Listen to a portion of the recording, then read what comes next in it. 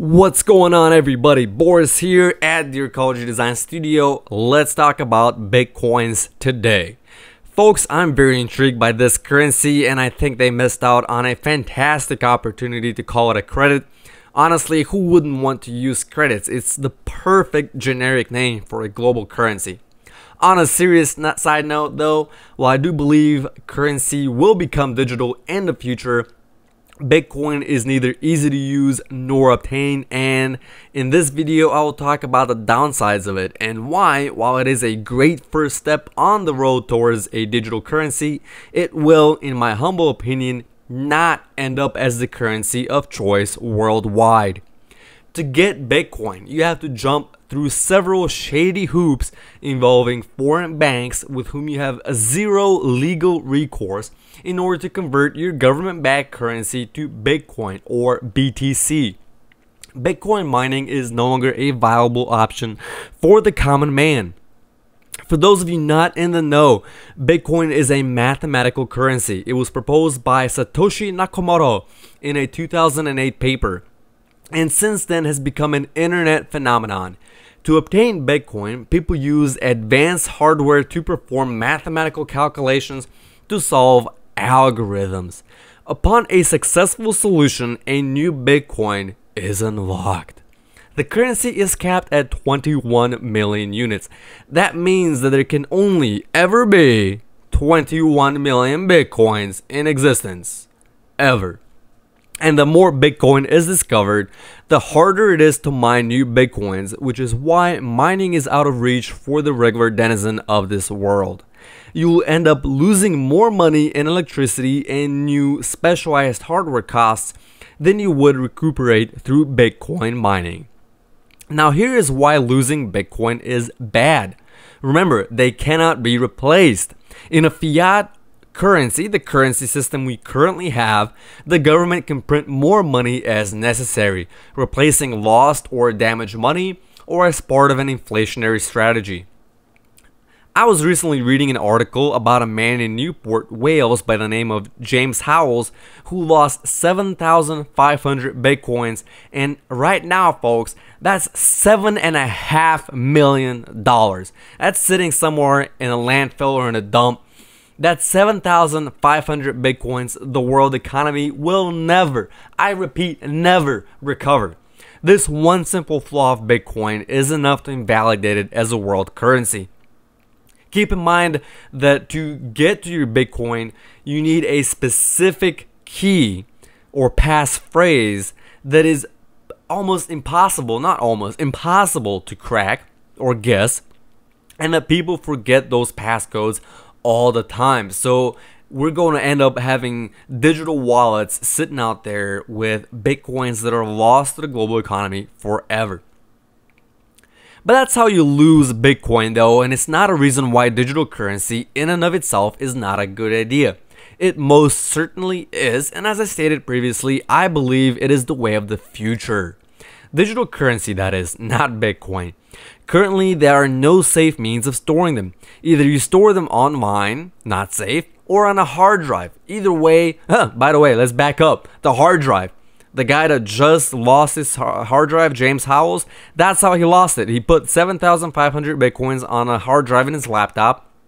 And I guess he forgot about it, trashed it. I'm not entirely sure what happened. The article is linked somewhere in the description. But yeah, hardwares apparently are not safe or secure either. But it's difficult to use them and conduct business with, and you can be hacked.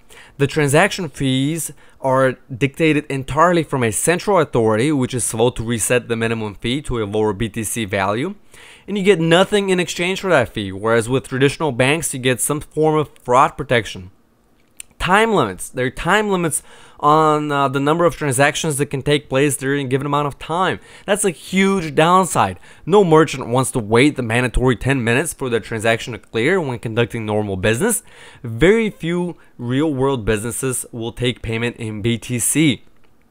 Yes, there are a few random online vendors and people like Richard Branson trying to cash in on some free PR for his suborbital space tourism space magic company. But nobody's actually spending BTC right now. Why would you spend one BTC today worth $1,000 when tomorrow it could be worth $2,000? Heck, that's four months of rent for a lot of people, myself included. Once retailers realize that nobody's actually spending their Bitcoin, they'll discontinue their use. Getting your money out of Bitcoin is also not convenient and not without risk. The few exchanges that offer this service are frequently unresponsive, either as a result of DDoS attacks or just close their doors unannounced, keeping your Bitcoin for themselves with a sorry for the inconvenience message. That's bad, folks. For a currency to work for the common man, it has to be readily available and risk and hassle free. People also lose and forget their passwords all the time, as we already talked about, and that Bitcoin is gone forever. And perhaps the biggest reason I can think of, um, of one of the downfalls of Bitcoin is volatility. Yes, admittedly, to reach a global equilibrium, all things undergo a period of volatility. But Bitcoin is different. People get into it for the wrong reasons, and people that got into it early on gained a lot, becoming millionaires overnight. Or those who are still invested in Bitcoin stand a lot to gain. They're the ones screaming, Bitcoin is great, it'll change the world, buy into Bitcoin. It's those stories of success driving others to invest into Bitcoin. And once they're invested, they want other people to invest into it, and so on and so forth. You can see where this is going. But all that is, is an investment, not a day to day operational currency. There are those out there saying that the relative value of Bitcoin to the US dollar is irrelevant. But for people living in the US or for countries using the US dollar as a reserve currency, that's simply not true. Would you really use Bitcoin for a transaction if you know the value of Bitcoin will go up?